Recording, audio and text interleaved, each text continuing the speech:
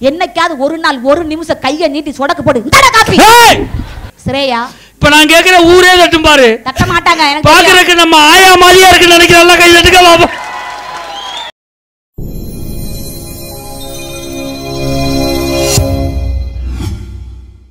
அதாங்க திருமண வாழ்க்கை.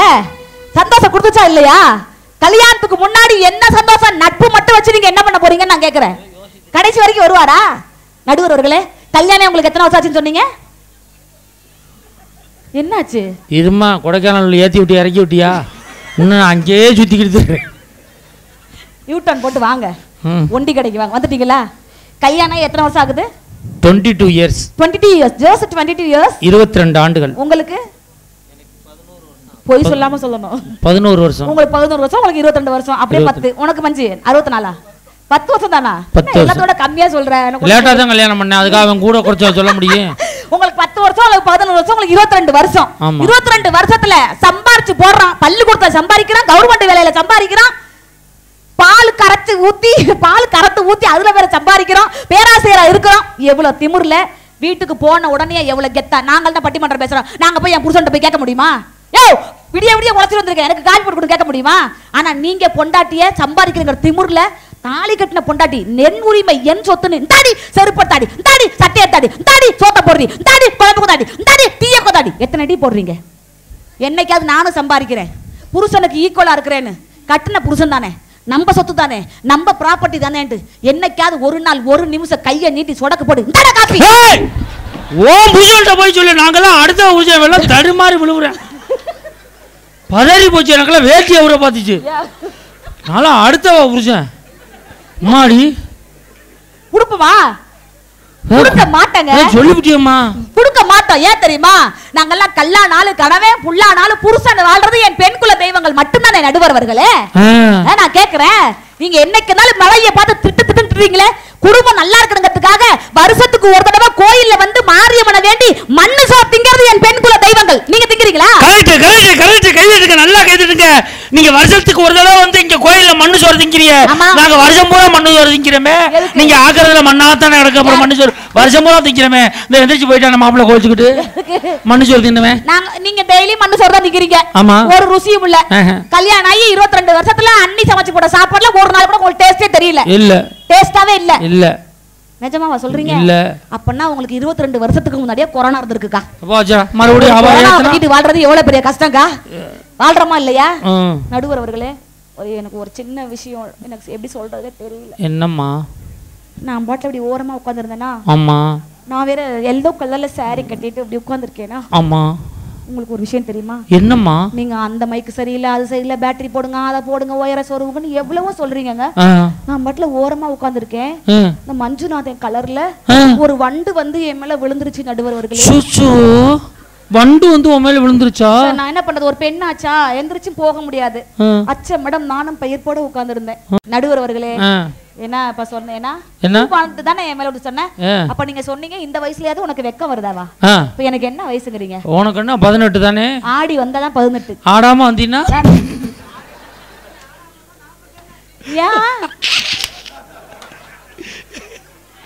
அவனுக்குள்ள வரவே பாரு.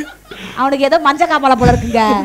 அதனால லைட்டை முன்னாடி போடுங்கன்னா சைடுல போட்டு வச்சா எப்படிங்க தெரியும் அவன் மஞ்ச காமாலையில எப்படி நீ மஞ்ச மஞ்சளா ட்ரெஸ் போட்டா மஞ்ச காமால வரதான் செய்யும் என் பெண் குல தெய்வங்கள்ட்ட நான் கேக்குறேன் நான் பாக்கிறதுக்கு அப்படியே சிக்கன சிறையா மாதிரி இருக்காது நினைக்கிறேன் கை தட்டுங்கக்கா எனக்கு இந்த ஓட்டு பார்த்தாதா நீங்க என்ன போடுறது எனக்கு பத்து ஓட்டு? பேர் தட்டியிருக்காங்க என்ன கேட்ட சிறையா இப்ப நான் கேக்குற ஊரே தட்டும் பாரு தட்ட மாட்டாங்க எனக்கு. பாக்குறதுக்கு நம்ம ஆயா மாதிரியா இருக்குன்னு நினைக்கிறேன் எல்லாம் கை அக்கா அவன் கூட ரிஜெக்டட் பட் அவன் என்ன நினைக்கிறான்னு எனக்கு தெரியும். இந்த இந்த பக்கம் பச்சை கலர் சட்டை நினைக்கிறான்னு எனக்கு தெரியும். பிகாஸ் ஒரு யூத் மனசு ஒரு யூத்துக்கு தான் தெரியும். அவர்? யூத் நீ டெலிபோன் பூத்து. இவ்வளவு உடம்பு குறைச்சி பூத்தா தெரியுற.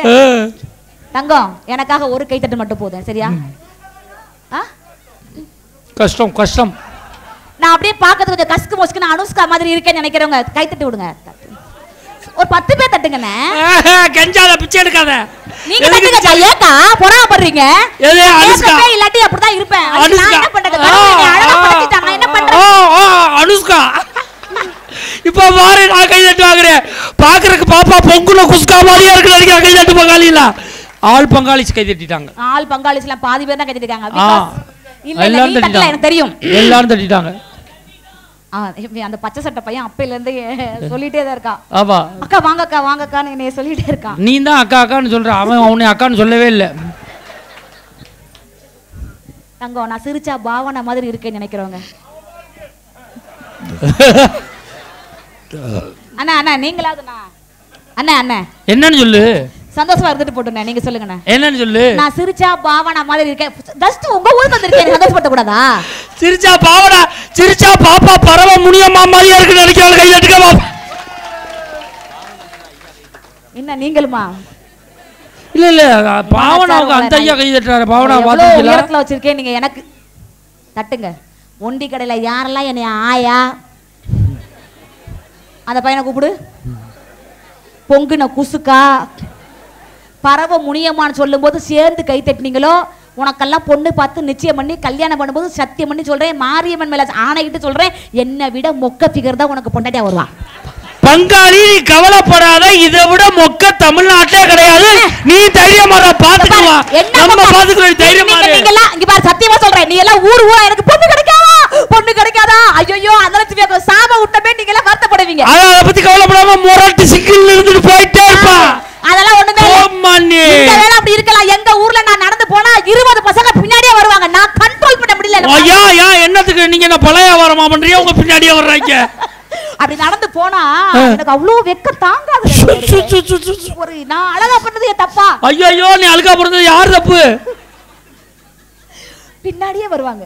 இந்த மாதிரி மாரியம்மன் கோவில் எங்க ஊர்லயே ஒரு கோவில். ஊருக்காரங்களுக்கு கண்ணு எப்படிடா இருக்கு? இது பின்னாடி நான் இருபத்தஞ்சாயிரம் ரூபாய் நன்கொடை கொடுப்பேன். ஆ. பட்டிமன்றம் பேசுற காசுலாம் ஆயிரம் ரூபாய் ஆயிரம் ரூபாய் சேர்த்து வச்சு சேர்த்து வச்சு வருஷத்துக்கு ஒரு நன்கொடை கொடுப்பேங்க. இருபத்தஞ்சாயிரம் ரூபாய் கொடுக்குறேன் டிவில எல்லாம் அந்த லட்சம் பேசுறாங்களே கூப்பிடுறான் அந்த லட்சுமிய. அப்படின்னு கூப்பிட்டு எனக்கு அவ்வளவு முக்கியத்துவம் ஆ. அப்படி கோயிலுக்கு போகும்போது பாவாடை தவணை போட்டுட்டு. ஆமா ஏன்? நீங்க பாத்துறீங்களா? கலைஞர் டிவில த்ரிஷா மாதிரி இருந்தேன். ஆமா ஆமா போட்டோ காமிக்கவா? ஓகேவா திரிஷ்டா மாதிரி இருந்தா அப்படி பாவாடை தாவணி கட்டிட்டு. இதே மாதிரி தலைய தலைய பூ வச்சுட்டு. பூஜை கூடைய கையில எடுத்துட்டு. நீங்க பாவாடை கட்டி பூஜை கூடைய கையில வச்சு ரைட் எஸ் அப்படியே இந்த முன்னாடி முடியெல்லாம் தூக்கி போட்டு சீ ரொம்ப தூக்கி போடாத கலண்டர போகுது அப்படி கோயிலுக்குள்ள போகும்பொழுது. அப்படியே இருட்டா இருக்குங்க. லைட்லாம் ஆஃப் பண்ணிடுவாங்களோ நீங்க வரீங்க. அப்படியே நான் இருட்டுக்குள்ள நடந்து போக போக அப்படியே வெளிச்சம் வந்துகிட்டே இருக்கும். ஸ்டெப் பை ஸ்டெப்பா வெளிச்சம் வந்துகிட்டே இருக்குங்க. உங்கள்கிட்ட இருந்து பவர் பவர் வரும். நீங்க பொம்பளை பவர் ஸ்டார் தான் பவர் வருது போல இருக்கு. பவர் ஸ்டார் ஆயிட்டனா போய் கோவில்ல போயிட்டு. அப்படி எண்ணெய் ஊத்தாமலே விளக்கு எரியும். ஓஹோ. அந்த அளவுக்கு என்கிட்ட பவர் இருக்கு. பவர் இருக்கு. அப்படி ஏத்துனதுக்கு அப்புறம் தான் ஆடியோ கார் பாட்டே போடுவார். ஒளியிலே. வாசிங்க என்னவே பாக்குறாரு அவர் கூட. ஒளியிலே. சரி அவர் வாசிக்கட்டா நீங்க சொல்லுங்க. சரி சரி. ஓகே. நடுவர் தானே. காசு நிறைய வாங்குறீங்களா. அங்க பேசுறதுக்கு சிங்சா போட்டீங்களா. நான் நான் பேசும்போது சிங்சா போடுங்க. இப்போ போடுறேன் ஆ, அதுதான். ஒளி ஒளியிலே. சூப்பர். நடுவருக்கு கை தட்டுங்க. பொம்பளை பேச்ச அப்படியே கேட்கறாரு. இவர் எங்க விளக்க போறாரு? என் நிலைமைய பாருங்க கடைசியில. ஒளியிலே சி, சி, சி, சி. என்ன எனக்கு இத்தனை பேர் ஜால்ரா போடுறாங்க? என்னன்னு தெரியல இந்த ஊர்ல. ஒளியிலே. தெரிவது. தேவாங்கா. ஐயோ தேவாங்க அந்த பொண்ணு அப்படி சிரிக்குதுங்க. ம். தேவாங்க முதல்ல முன்ன பின்ன பாத்திருக்கீங்களா நான் பார்த்திருக்கேன். எப்படி இருக்கும்? நீங்க போய் கண்ணாடியில பாருங்க தெரியும். சரி நான் என்ன சொல்ல வந்தேன்? கண்ணாடியில பார்த்தா உங்க மூஞ்சி தெரியுமா? சேச்சி உங்க மூஞ்சி தெரியும் பாருங்க. எங்க வீட்டு கண்ணாடியில அப்படி தெரியறது இல்லையே அப்ப பக்கத்து வீட்டு கண்ணாடியில போய் பாருங்க. எங்க வீட்ல யாருமே வந்து பவுடர் அடிக்கிறதோ தலை சீவரத்துக்கோ கண்ணாடி முன்னாடி நிக்க மாட்டாங்க. வருவாங்க என் முன்னாடி நிப்பாங்க படக் படக்குன்னு தலை சீவாங்க போயிட்டே இருப்பாங்க. நீங்க உங்க வீட்டுல உள்ள பவுடர் அடிச்சு விடுறதோ? நீங்க என்னதான் சொன்னாலும் சரிங்க. ரெண்டாயிரத்தி இருபது மார்ச் பதினெட்டாம் தேதி எனக்கு என்ன தெரியுமா? நீங்க எல்லாம் அவ்வளவு கிண்டல் பண்றீங்க என்னை பார்த்து. தேவாங்கங்கிறீங்க. அந்த பையன் என்னன்னா உனக்கு வந்து ஆயாங்கிற நீயே. என்னோட மவுஸ் தெரியாம நீ பேசிட்டு மவுஸ் தெரியாது உனக்கு. பெரிய கம்ப்யூட்டர் கம்பெனி இப்ப சொன்னதுக்கு அப்புறம் தெரியும் பாரு. ரெண்டாயிரத்தி இருபது உங்களுக்கெல்லாம் கொரோனா வந்துச்சு. ஆமா. பட் நான் எனக்கு என்ன தெரியுமா? வாழ்க்கையில பிரகாசமே எனக்கு அப்பதான் வந்துச்சு. ரெண்டாயிரத்தி இருபதுல மார்ச் பதினெட்டாம் தேதி எனக்கு சென்னையில இருந்து ஒரு டைரக்டர் கால் பண்ணார். என்ன தெரியுமா? பட டைரக்டரா டைரக்டர் தான். தல அஜித் கூட எனக்கு ஹீரோயின் நடிக்கிறதுக்கு எனக்கு வாய்ப்பு வந்துச்சுக்கா.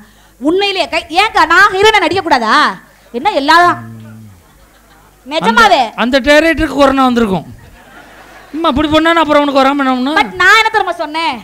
எனக்கு ரசிகர்களை நேரடியா பார்த்து பார்த்து பழக்கப்பட்டுச்சு. எனக்கா கோடிக்கணக்கான ரசிகர்கள் காத்துட்டு இருக்காங்க. ஐ காண்ட் படத்துல நடிக்க மாட்டேன். ஆமா. தலை நீ- கூட வாய்ப்பு இருந்தாலும் கூட நீங்க. நடிச்சா அவ்வளவு ஓடாது. ஏன் ஓடாது? இவ்வளவு வெயிட்ட தூக்கிட்டு எப்படி ஓடு? அதெல்லாம் ஓடாதுங்க தலை அஜித் கூட வாய்ப்பு வந்துச்சுங்க. இருந்தாலும் ஒண்டி கடையில நீங்க தேதி கொடுத்த ஒரே காரணத்துக்காக தலை கூட நடிக்கிறத கூட விட்டு வந்திருக்கிறேன்னா எதுக்கு?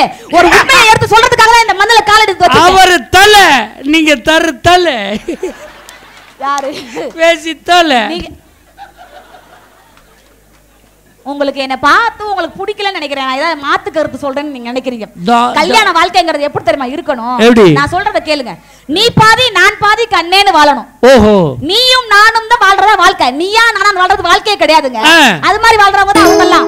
நீயும் நானும் வாழணும். எப்படி தெரியுமா. நீ பாதி நான் பாதி. ஃபார் எக்ஸாம்பிள் தூங்கி இப்பதான் எந்திரிச்சிருக்கான் போல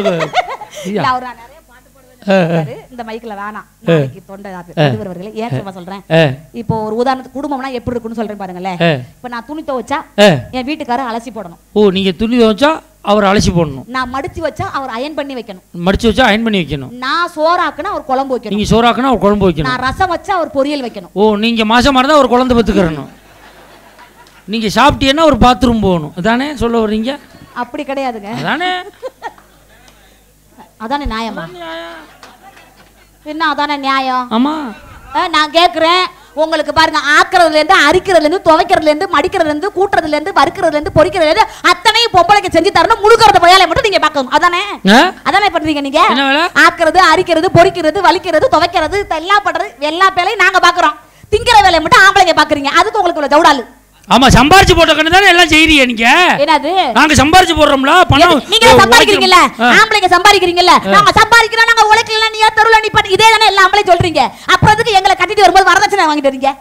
எதுக்கு வாங்கிட்டு வரீங்க? அப்புறம்?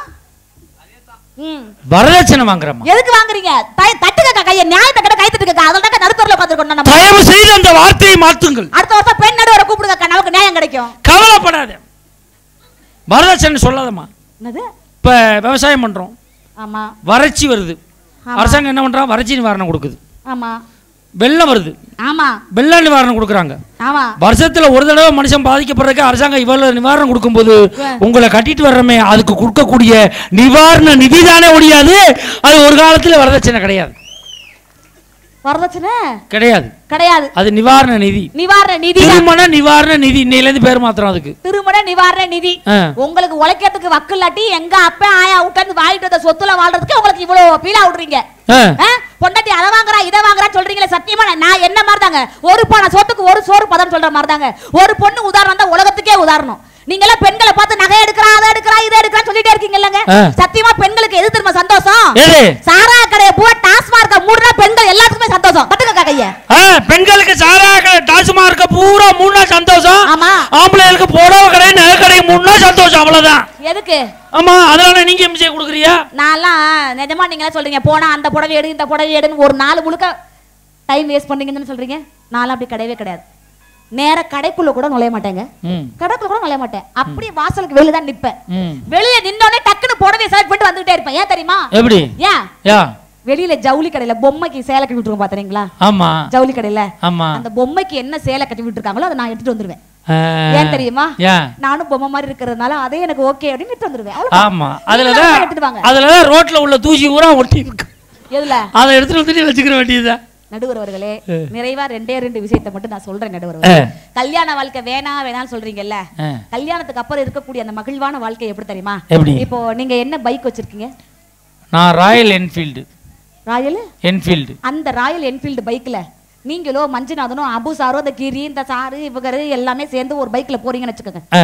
போலீஸ்கார் நிப்பாட்டி உங்களை என்ன கேட்பாரு எல்லாம் கேட்பாரு நிப்பாட்ட வண்டிய?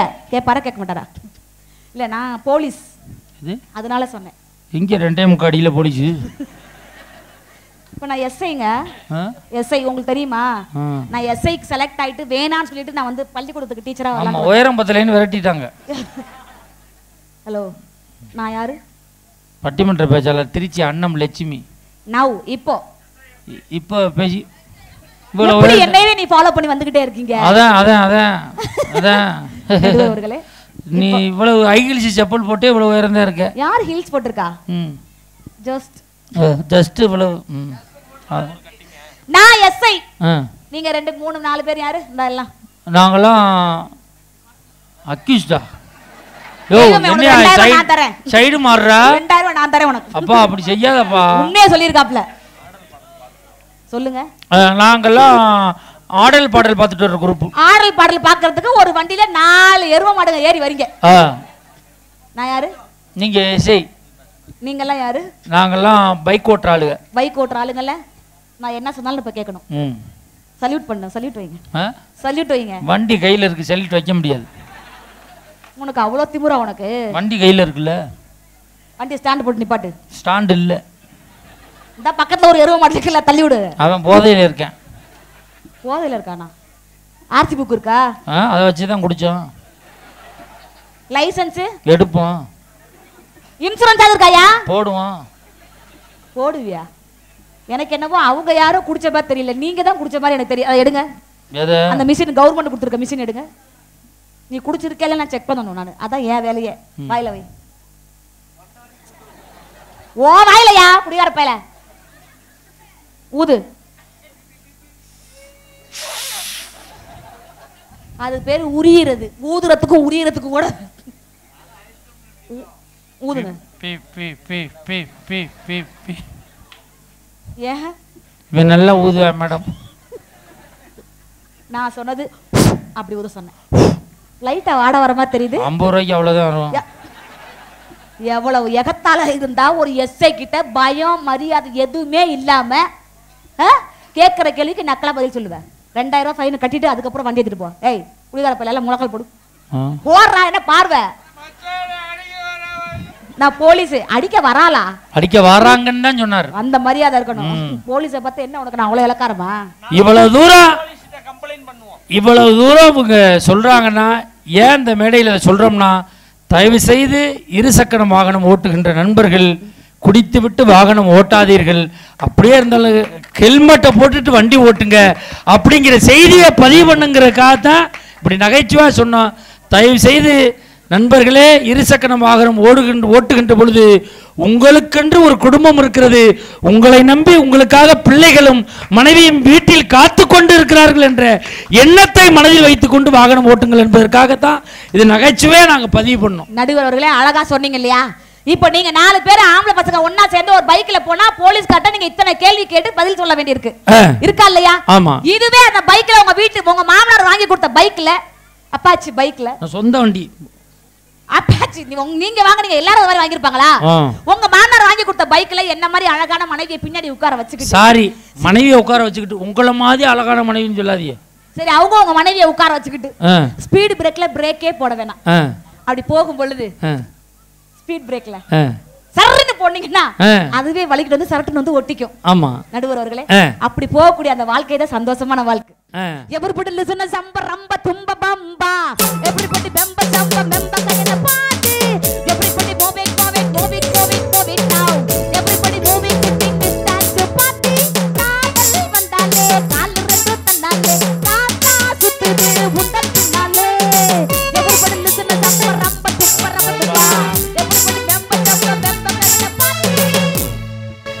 சந்தோஷமா போயிட்டே இருக்கும் நடுவர் அவர்களே.